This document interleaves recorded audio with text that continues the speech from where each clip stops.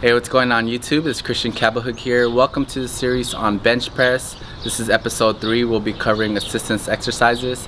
I recommend these exercises not just to build muscle, but if you really want to get your, your, your bench press up, increase your strength in it, or your one rep max, I highly recommend these exercises. So let's get to it. First assistance exercise is the bench press drop set. A good starting weight to practice on would be around 60 to 70% of your one rep max broken down into smaller weights. I put 5s and 10s as an example, setting it in different patterns, that way each set feels completely different from the other. Basically what you do is exactly the way I demonstrated here. You perform the first set with as many reps as possible without using a spot.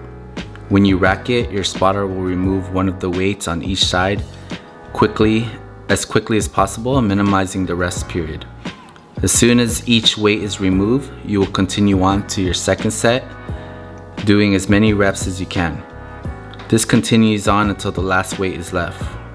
The key is to hit failure each, each set without, without a spot, completing each set with only 5 to 10 seconds of rest in between. Typically, this is the best this is best used after completing your workout sets.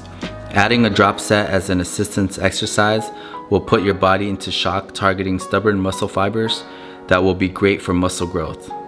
In order to succeed in a drop set, you will need to train hard for a longer period of time, which will require more energy. More energy means more calories burned, which will help tremendously to fat loss.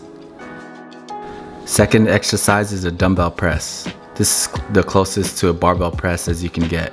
It allows you to get a better stretch than the barbell, drastically improves your stabilizer muscles, and creates a better opportunity to find any weak points.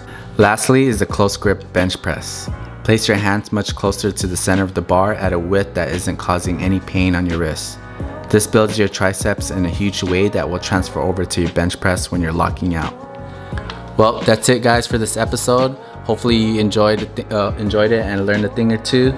Stay tuned for episode four on advanced assistance exercises. Uh, if you haven't already, don't forget to subscribe and set your notifications on. And if you enjoyed this video, give it a thumbs up. Thanks for tuning in. Peace.